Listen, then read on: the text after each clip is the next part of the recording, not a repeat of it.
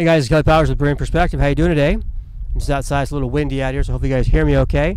Hey, as you're watching this, please make sure you hit that like button. Please subscribe, and make sure you leave a comment on this video after it's done, okay? Hey, my Catholic friends out there, and let me be very clear, I'm doing this video because I care. This is not an attack, a slander, a jab, whatever. This is based on a lot of conversations I've had online recently, and of course over the years a lot of my upbringing back in the day, my former stepmom, she's Sicilian. I always make the joke if there was a movie called The Godmother, she would have been in it because she was Sicilian and she'll take care of business. Alrighty then. So she was very, very, very Sicilian and Roman Catholic, let me tell you. So I grew up with a lot of this when I was growing up. Now, I was not one, but I've been around it, friends, done my research, talked to people online, talked to many people, so I'm not unfamiliar with it. I don't know everything, of course, right?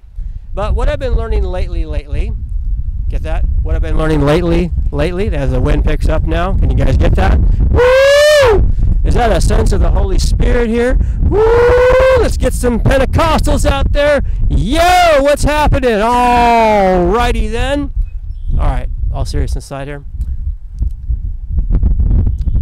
when I've been talking to Catholics lately, lots of things, talking about purgatory, are we justified by faith, or is it by works, whatever else. Lots of things. There's two things I've been noticing lately that I think that are really important to really think about if you're a Catholic, and why. First off, in the in the New Testament. All right, you believe that Jesus called Peter to be your pope, the rock, right? Bam, boom, let's get it. Let's just throw it on out there, right? okay. So he's the rock. He's the pope, okay? Okay, fair enough. Is that if, if that's what Jesus really taught? Answer me this. In any of the places in the book of Acts, any places of Peter's epistles, does he ever teach this? Does Peter ever teach this stuff? Did we ever see it coming from John, Paul, James, Jude, any of those guys? Anywhere? Do we see any kind of indication that Peter's over the whole church in the New Testament? Can you dig it? What I'm trying to say is, where do we see this being taught by Peter? Where do we see this being taught by Paul?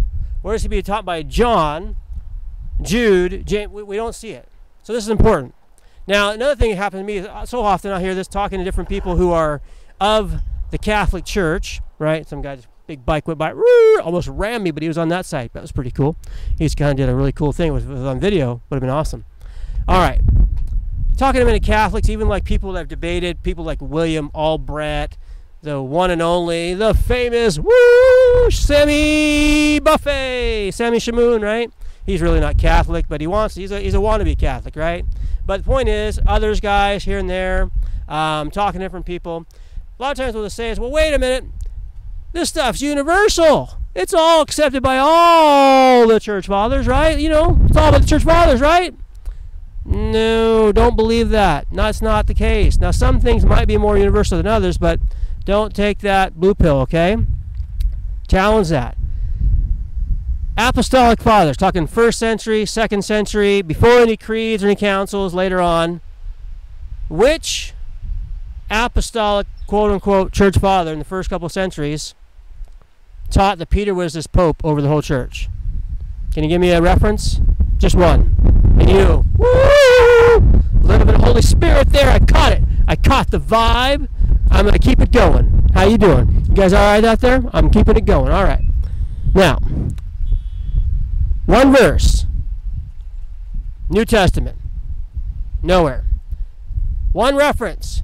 Apostolic Fathers. I, I challenge any of you guys out there, and you Catholic apologists, provide something that teaches that Peter is this vicar, this over the church, this pope. First couple centuries. I haven't found it. Now, if you find it and you pull the rabbit out of the hat, you, my friend, as Doc Holliday would say, you're a daisy. But it's not there, right? So, what is that? That tells me something that this teachings of this magisterium that's come over time what is it? Traditions of men, not Bible. Not Bible, okay? Now, are there sometimes things in the Bible that are tradition? Of course. Tradition is not always a bad thing, but this is a pretty big doctrine, wouldn't you agree? Yet we don't see this being taught by the apostles. So therefore, what I'm trying to say is, if this was truly what Jesus taught, my hair is now, look at me, I'm a wild man. Whoa! If this was truly taught by Jesus, right? Why don't we see it being taught by Peter? Why don't we see it in the book of Acts? Why don't we see it taught by Paul or John or James or Jude or any of the first couple of centuries apostolic fathers? I don't know of any. Let's go a step farther as the wind is now picking up. All right, now we're getting some we're getting some some Pentecostal power out here. Good thing my last name is Powers, right? Hallelujah, amen. I'm having a fun day. Is that okay? I'm having fun. I hope you guys are all right. Make sure you like this video, okay, and share it, okay? And leave a comment. And subscribe. And send me a taco in the mail, okay? All right. Well, maybe not in the mail. All right. Mariology. This has been a big thing on my channel lately, talking to Catholics, right? Where did Jesus teach Mariology? I've had some challenges to different people online. Haven't found a single one yet that could pull up pull the rabbit of the hat. Jesus did not teach the Marian doctrines. Paul did not teach the Marian doctrines. Peter didn't teach the Marian doctrines. John didn't teach the Marian doctrines. James didn't teach the Marian doctrine. Jude didn't teach the Marian, doctrine, Marian doctrines. Nowhere in the New Testament. Now, guess what? Drum roll. Ready? Apostolic Fathers. Listening? Mm. Apostolic Fathers. Which one? First century, second century, up to the 300s. 300s or before, which apostolic father taught praying to Mary? Which one? Which one of them taught that she was a mediatrix? Which one of them taught that she was a perpetual virgin? Which one of them taught the Assumption of Mary? I'm holding down the fort here. It's getting windy. Which one of them taught these essential, quote unquote, Marian doctrines?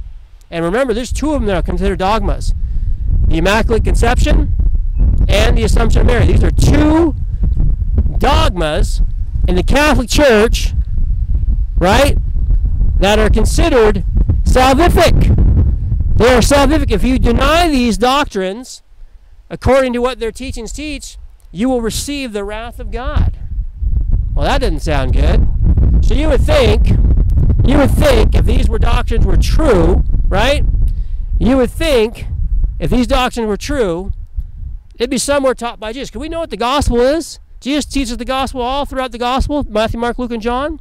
We see it taught throughout the book of Acts. We read it through Paul's writings, John's writings, John, um, uh, Peter's writings, Jude's writings, James, all these guys, right? We get it. Pretty there, pretty straightforward, right? Where's Mariology? Where's Mariology? Not there. So I submit to you Two things as I wrap up, and I'm getting blown away out here. Getting blown away. The Holy Spirit's blowing me away out here, okay? Two things. The Pope. Not biblical. Not taught by Jesus truly. Not taught by the apostles. Not taught by the apostolic fathers about Peter. Just not there. Okay? Second thing. Woo! Woo, doggy! Second thing. Mariology. Okay? Mariology. Not taught by Jesus. Only God is without sin, right? Born this way other than Adam and Eve. Mary did have children later. We read about that in Mark 6, Matthew 13, many other places, right? She wasn't born without sin. For all of sin falls short of the glory of God. It says in Ecclesiastes 7.20, there's not one righteous person on the whole planet of the earth who continually does good and never sins. We know that. Only God is without sin, right? No teachings of Assumption of Mary. No teaching of praying to Mary or even praying to saints in general. Why would you want when you can pray to Jesus and pray to God directly, why would you want to do that, right? And can Mary like hear millions and millions of people all around the world at the same time? Is she omnipresent? Omniscient? Like is she given that kind of authority? No. In short, Mariology is idolatry. It really is. And I think this is probably one of the biggest things out there is a, a huge thing that needs to be addressed when talking with Catholic. If you're a Catholic listening, obviously you're listening, but if you're a Christian listening, Mariology and the issue of the Pope and authority. These are two big things. All right, so we wrap up.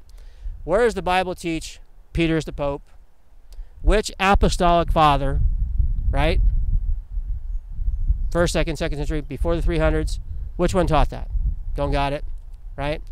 Which apostle taught Peter was the Pope? Did Peter teach he was the Pope? No. Where did Jesus teach uh, Marian doctrines or Mariology?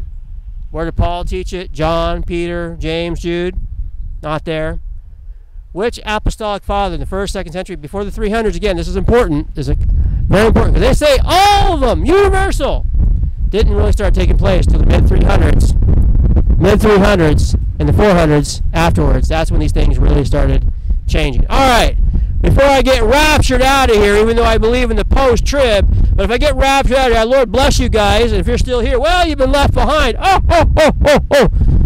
Oh, that's not good. Anyway, um, Lord bless you guys. Please like this video, leave a comment, please subscribe. And if I get taken up like Elijah, well, I'm going to be flying for Jesus. Lord bless you. Have yourself a great day. Talk to you later.